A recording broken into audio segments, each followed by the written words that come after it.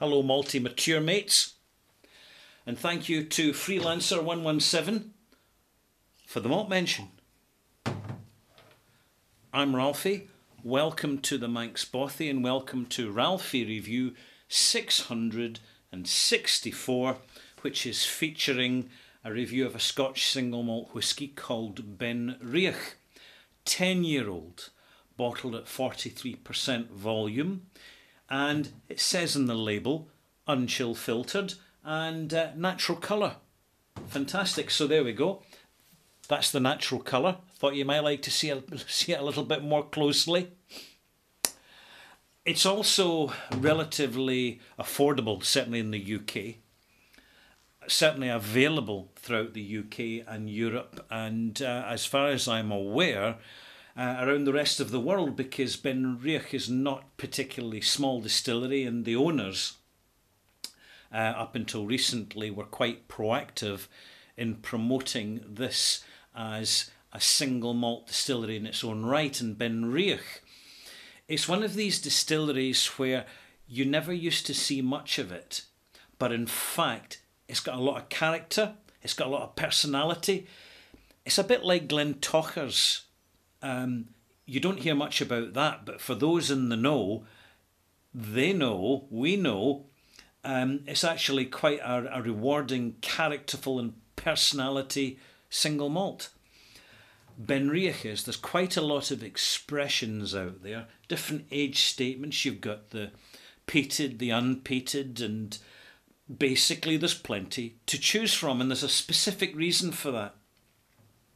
And that is because in 2004, the distillery was bought by an ex operations manager from Burn Stewart by the name of Billy Walker, who had many years' experience in the whisky industry. And with his um, busy partners, he, he saw basically saw the opportunity within this distillery and exploited it to the fuel to the full. Uh, likewise with Glendronach. Same people own that distillery.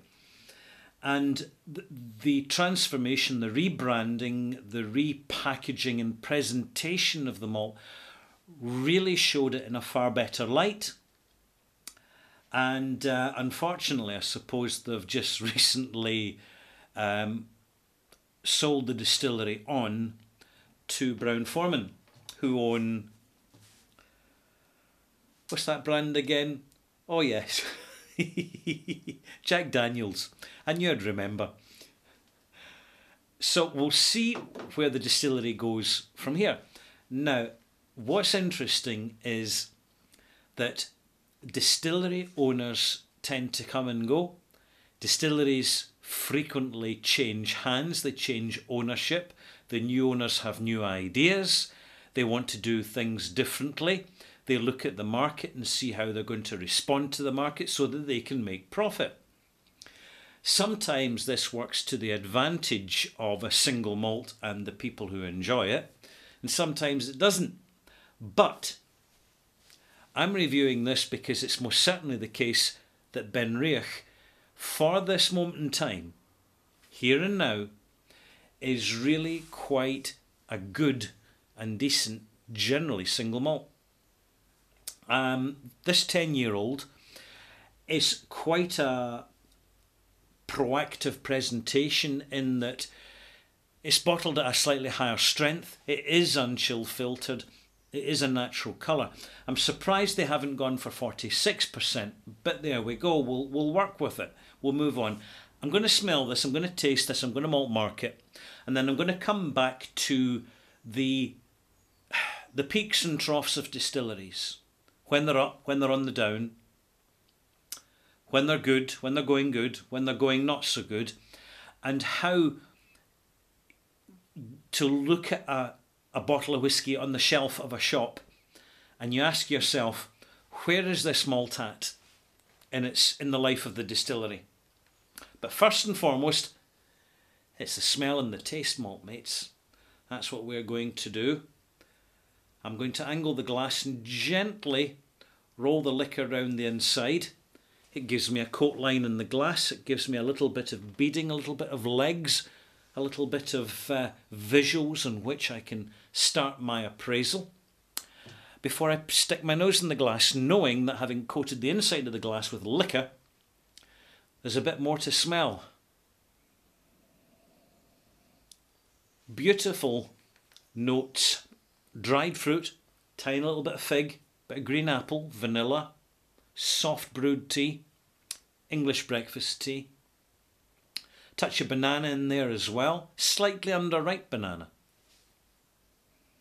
Very Speyside, sweet initially on the nose, but it kind of settles down to being a little bit drier as you carry on nosing the glass over time. This distillery is situated in near Elgin, it's very much a Speysider, in close proximity to Longmorn Distillery and Linkwood Distillery and Glenelgin, which gives you your, your bearings as regards this particular character. And um,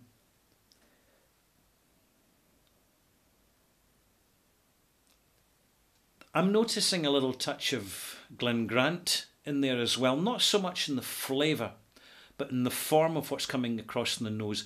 There's a, a sweet, slightly solventy start to the, the, the smell of this whisky, but it quickly graduates onto something more complex and interesting.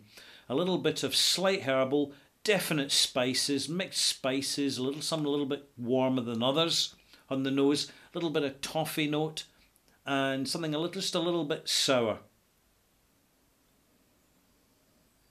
And also Glenelganish, something slightly perfumed, but not floral perfume, just really a kind of grain perfume note.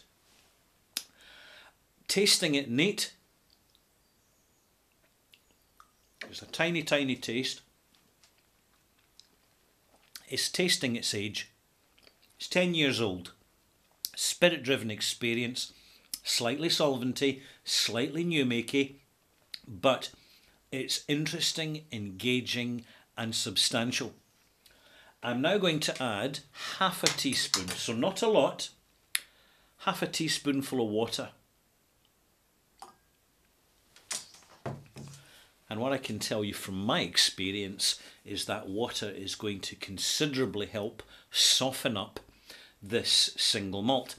You will find that with young single malts, first contact can be a little bit edgy, a little bit harsh even. But it's surprising that with oxygi- oxid- oxidization in the glass, accentuated by the addition of a little bit of water, it doesn't take long for quite a substantial change to occur in the glass, which elevates the experience. So even after just literally a minute or two, a quick stroll and roll, no shaky shaky, and uh, the nose is immediately softer. It's a little more more resinous, a little more sweet and sour. Spices, fresh fruit, a little bit of dried fruit, raisin, definitely. A little bit of nutmeg in the background, even a touch of clove there. It's all coming through. For a young whisky at 10 years old, relatively complex, and it really is a, um, a tribute to the signature of Benriach distillate coming off the stills. It's a pretty good start. Bear in mind that many Speyside distilleries don't bottle their standard aged bottling till 12 years, and there's a reason for that. They need the extra two years before they become rounded but here with the Benriach, the good quality casks, there are, there are good quality casks at play here, and it shows. And uh, it's really hitting its stride now. Taste. Ah, yeah. Much bigger arrival, bigger mouthfeel. Real sweet and sour. The sweet never dominates, it never gets time to dominate. Because it's really tackled by a combination of some sherry cask, some relatively dry bourbon, something a little bit mineral and flinty. And it's interesting to note that this is a good example of a distillery that uses hard water, calcium rich water in its production rather than soft water. These things are worth knowing, malt mates. There's just a little bit of information which, over time, adding to all the little bits of information, gives you a deeper understanding of single malts when you encounter them. But uh, a, a pretty good 10 year old, it's not that long, but the development's quite substantial, and the finish is crisp, slightly tannic, a little bit of lemon juice, lemon oil, and lemon rind. Here we go again, around two seconds away. Mm. Very refreshing in the palate. It's young and it shows it, but it carries that youthfulness very well.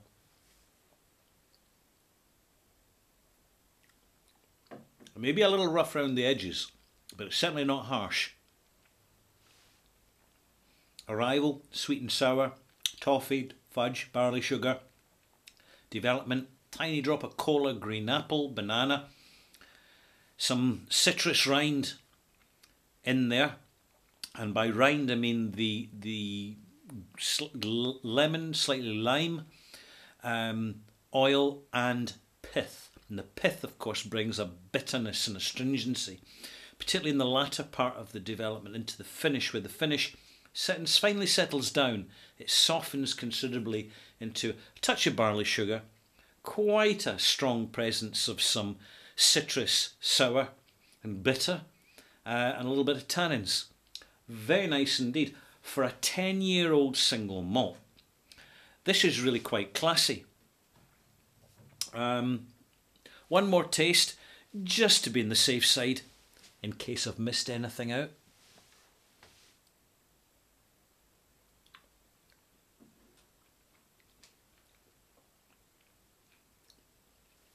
Quite dry, increasingly dry in the development. Reminds me of a toffied Scapa, funnily enough. An interesting and engaging whisky. I like this. I shall now malt mark it.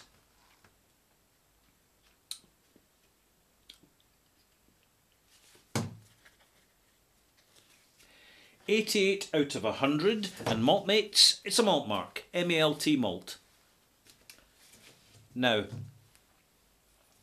earlier on in this review I did mention that it's worth knowing additional extras about not just a malt whisky as in the barley they use the source of their water and production whether it's soft or hard water, how much mineral content is in that water. So forget the the name of the stream in the burn that runs down the hillside.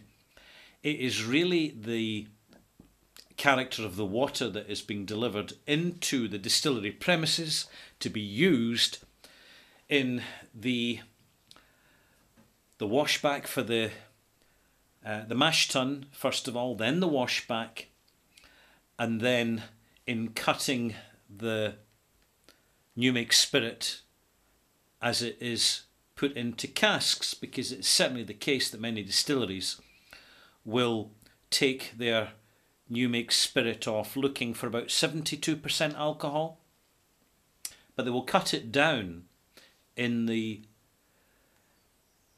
the vats prior to barreling to about 64% and one reason is because there is a softer engagement with less alcohol in the solution, there's a softer engagement with the casks, and therefore the calibre of maturation over time is a little bit more mellow.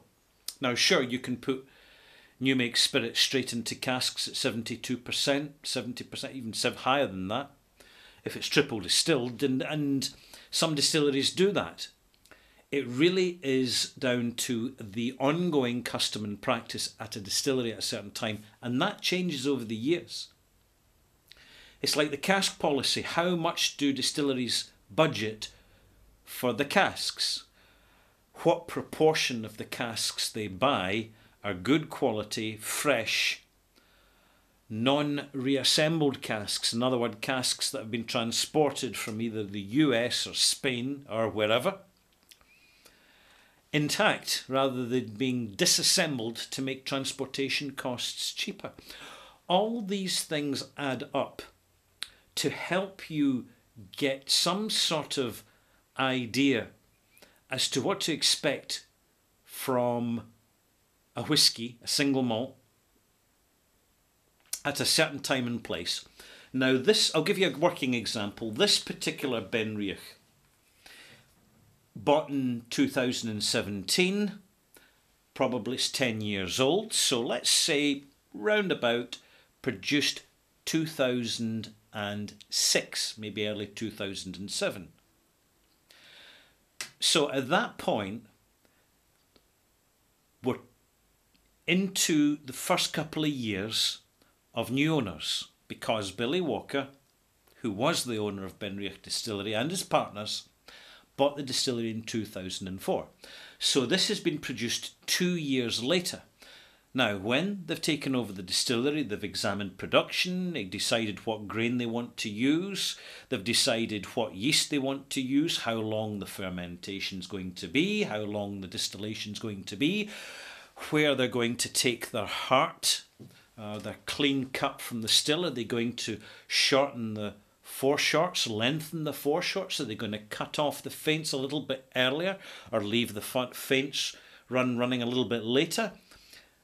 The new owners, they're going to change these things and they're going to need time to get to understand the distillery itself and to bed in so here we're looking at a spirit that's been produced shortly after the new owners have bedded in to their new distillery. Now they've taken over, they want to transform Benriach from being blend filler to standalone single malt. What are they going to do? They're going to buy better quality casks. Perhaps they're going to slow down the stills a little bit they're going to slightly increase their production costs of their new make spirit. But that won't kick in. All these decisions, all that investment, whether for good or for not good, it's not going to show for a number of years down the line. So here we have it. We're 2017. This bottle is 10 years old. It was produced 10 years ago roughly, maybe a little bit longer. Because there's absolutely no reason why they can't use 11 year, 12 year, 13, 14, 15 year old whisky and still call it 10 years. It's perfectly legal and legitimate. What they cannot do is use 9 year old whisky and then put 10 years old on the label. That is very naughty. So they don't do it. Instead, what they do is they showcase because they want to build up their customer base. They want to build up Benriach fans. So they've got to aim to please fussy maltsters like ourselves, me and you, both of us malt mates, and all of us too. And that's the way it works. Sometimes you can have a bottle of malt that 10 years down the line, you open it, you taste it, you say, What's gone wrong here? And when you look back the timeline to 10, 12, 14, how many years ago, you can see that they maybe they cut the budget in casks.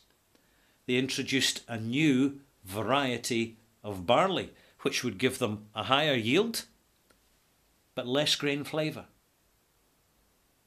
That's the way it goes if you're just an occasional single malt drinker, you're not going to be too fussed about these little pernickety details. However, if like me you happen to be a total die in the wool malt anorak, you pick up in these things. It's all part of the growing reservoir of knowledge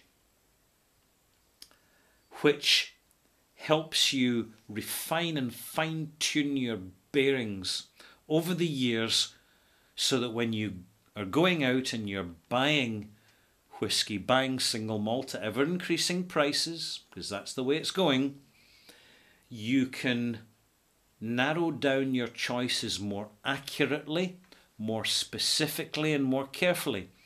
When you're bearing these other contributory factors into account as regards the distilleries themselves. So it's well worth going online, which is easy to do, and finding out for yourself a little bit more about a distillery, whether it's a brand you regularly buy or whether it's a brand you're thinking of buying it. And it doesn't just apply to Scotch whisky, it applies to all spirits from around the world. And it's a really interesting journey, Maltmates, because one of the extra additional benefits is that you start to connect that little bit more with the actual provenance of what's been produced and you understand more where it's coming from and importantly understand where your palate is developing too. So there you have it, sharing the knowledge, sharing experience and sharing my opinion, because it is an opinion, malt mates, that's what it is, of a single malt, single Scotch whisky. Yeah, I've said single twice. Um, not sure why I did that, but I did it anyway. But I'm not going to hang about dwelling on about it. Um, I'm going to uh, have another smell and sip of this single malt and then call it quits. And uh, shortly I'll be back with Ralfy Review 665, which will be another Speyside distillery, except that one will be aged for 12 years. Hmm. And it's readily available too, and it's really quite tasty.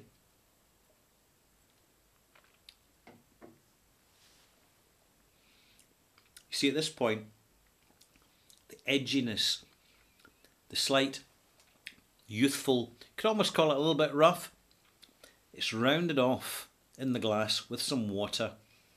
There's a tiny little drop of Scotch mist appearing in this glass, but frankly, mates, not as much as I would expect. The producers do say it's non-chill filtered, Okay, okay, but it's still significantly filtered. Because if it wasn't filtered, it would be most certainly cloudier than it is in the glass, with a little more noticeable Scotch mist. I'm Ralfy, saying goodbye and giving you a wee wave. There you go, wee wavy hand. I'll see you soon. And remember, malt mates, steady as you go.